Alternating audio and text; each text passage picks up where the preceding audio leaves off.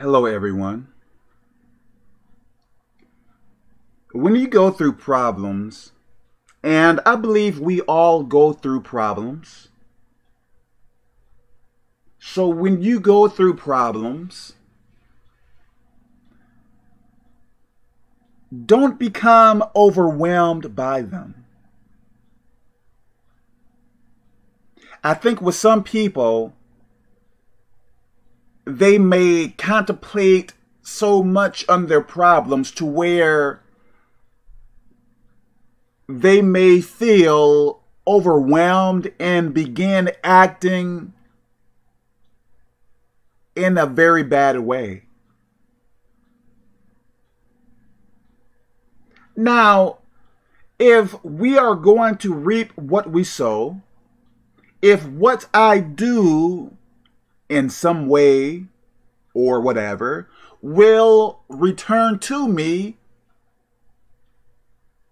how do I benefit by doing wrong? Not saying that we are going to do everything perfectly. When you go through problems, handle everything,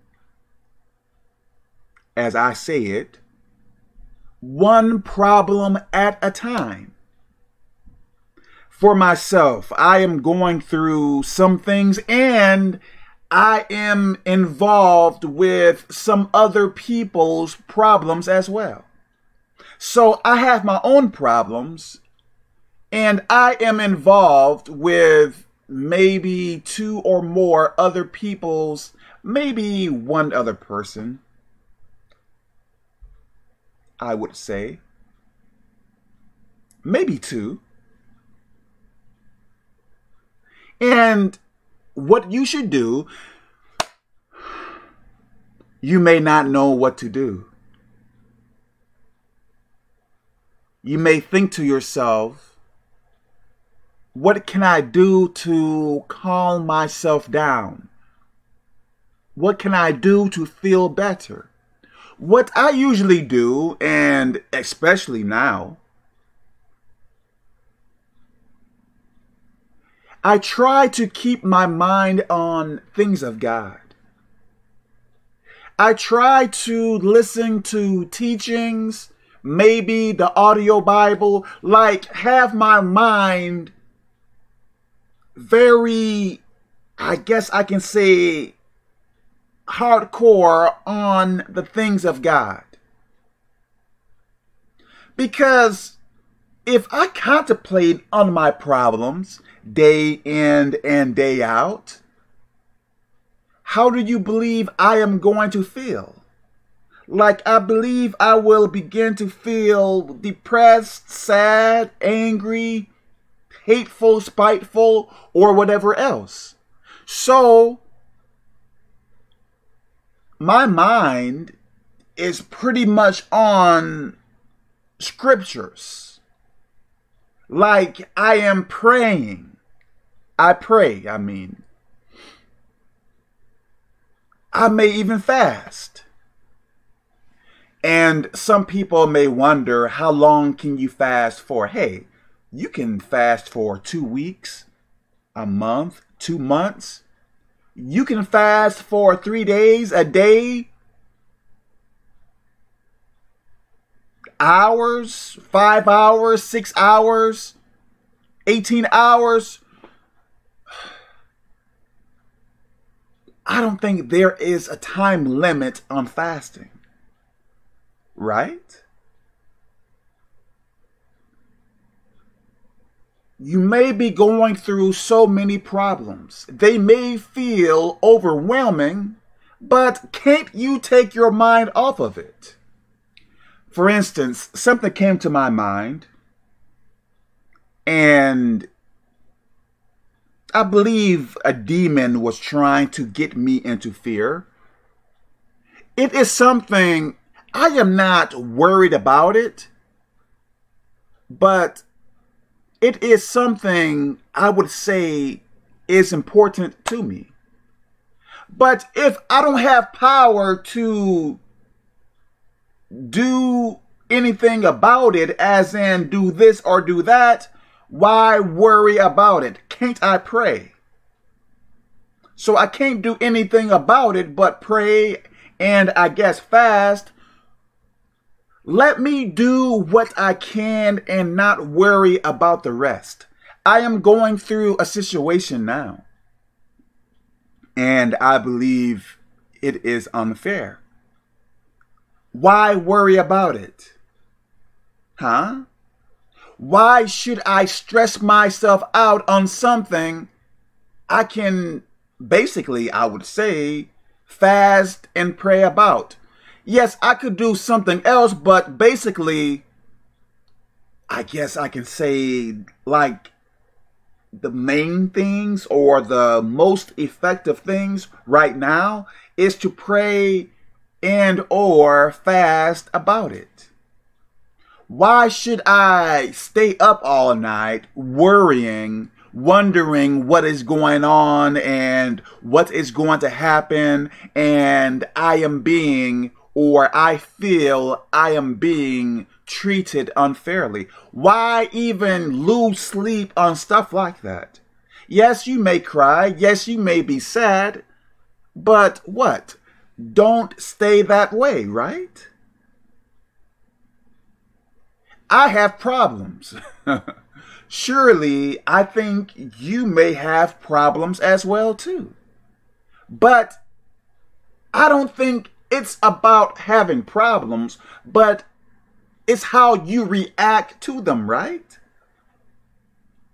If you are always reacting negatively toward your problems, cussing folks out, yelling at people, acting really wild and aggressive, hey, what is that telling you about yourself? Perhaps you are spiritually immature, right? I don't want to be that way. Let me read the Bible and act upon what I know and stop going back and forth. Back in my past, I was lukewarm. I would constantly try to live for God, then go back into sin. Try to live for God and go back to sin. Try to, like this back and forth type of stuff. And it came a time I forget how everything was, but I was probably constantly asking Jesus Christ for help.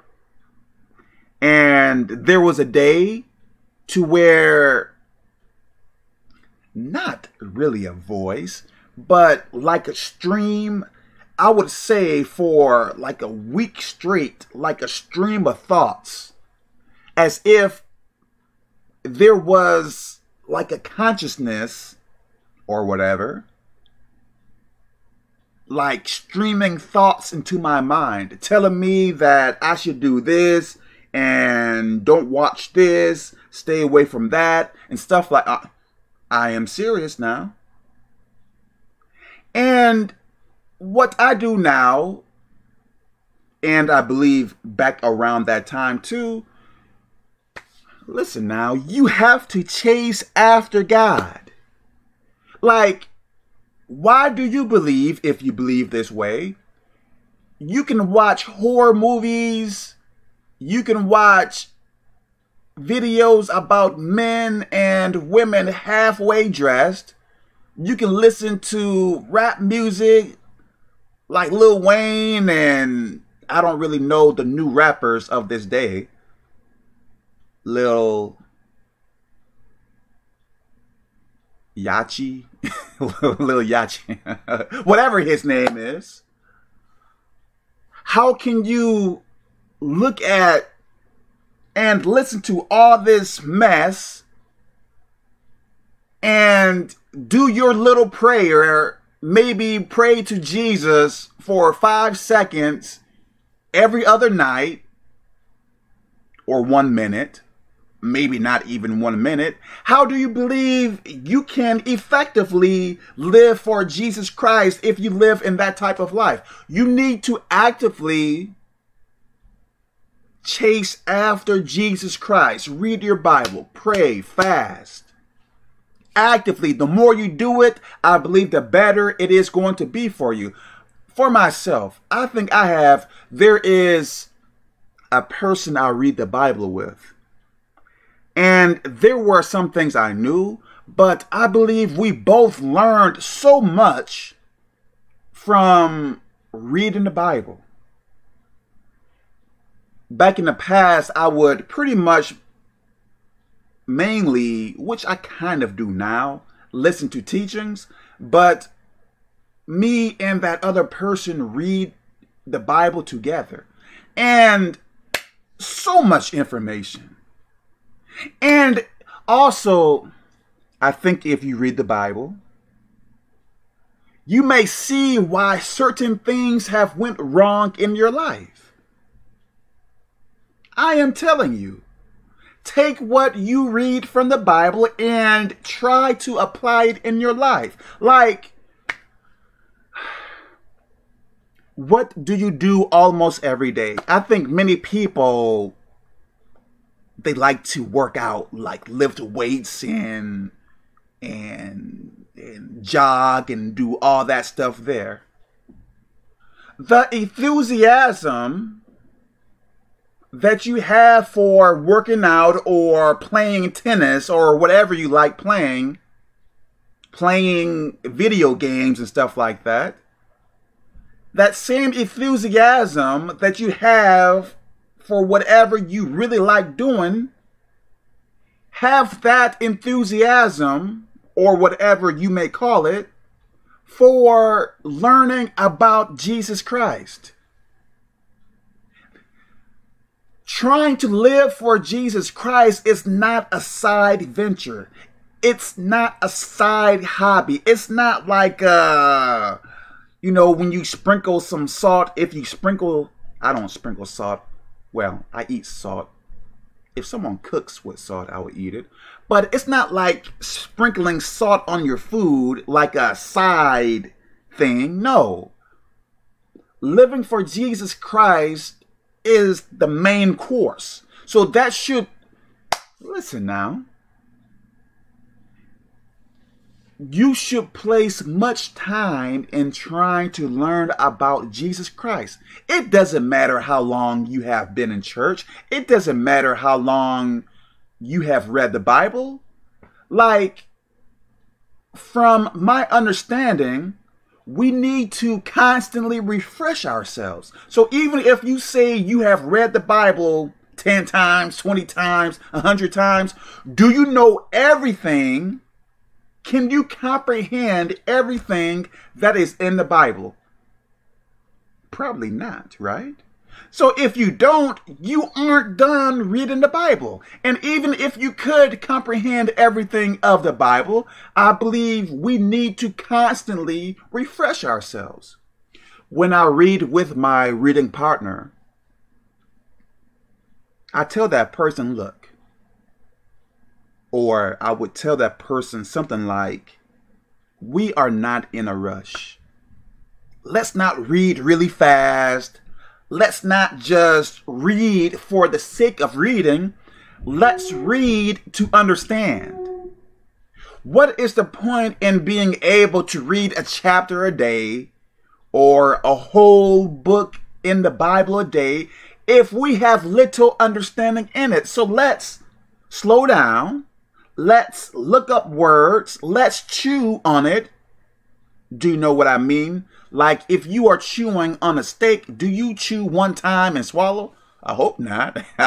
Depending on how big it is, I guess. I believe if you chew on a steak, if you like meat, I think you will have to chew on it, chew on it, chew on it, then swallow, right? So before and probably still now, I tell that person something like, look, stop rushing. We are not in a rush. Let's take our time, look up words, whatever else. Sometimes we may not look up every time.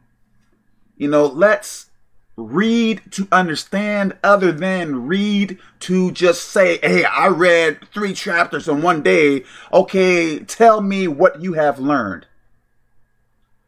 And you probably wouldn't able to be able to tell me much.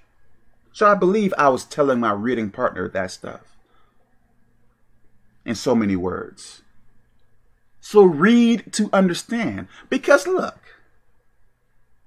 I want to, I think in this life, you may agree or disagree. Ooh.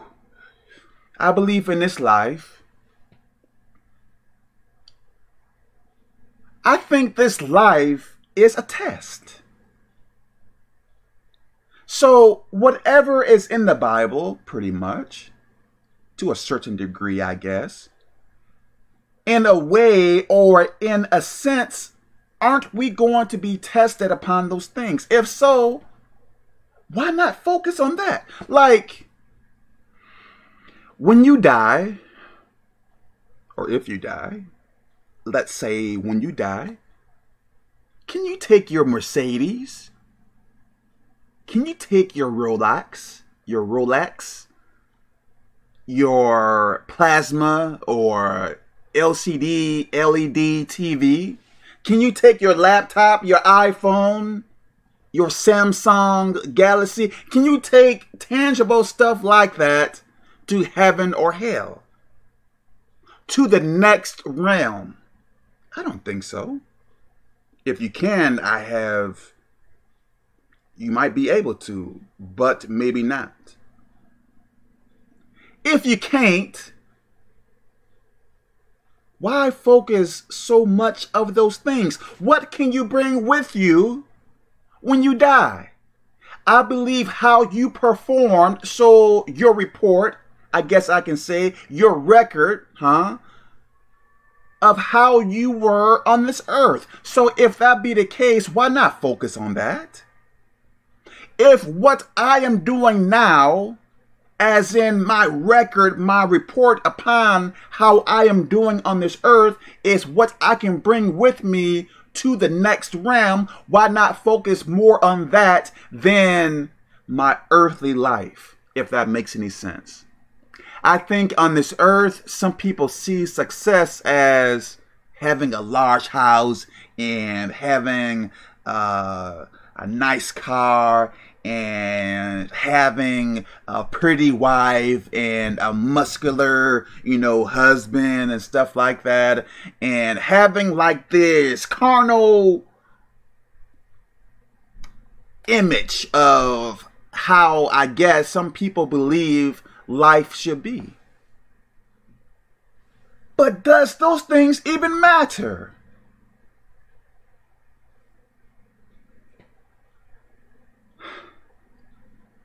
If your earthly pursuits is getting in the way of your spiritual life, you need to let them go, right? You need to let them go or put them way behind Jesus Christ, right?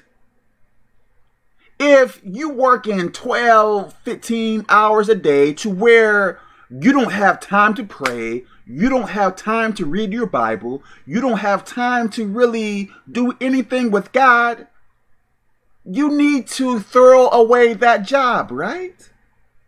Kevin, I am making so much money. You know, back when I was a child, I was so poor. I did not really have anything. So with this job now, I can really get so much things on this earth and I am so happy about it. But you are going to have to die, right? Aren't you going to die? So if you die, where are those things going? I believe they are going to stay on this earth. So aren't we going to be judged based upon how we perform on this earth? So while you are working for those carnal, tangible things, aren't you sacrificing your spiritual life? So you willing to pretty much take yourself to hell for some iPhones and a Bugatti, a Mercedes, or a Rolex and stuff like that? Come on now. Let me stop here.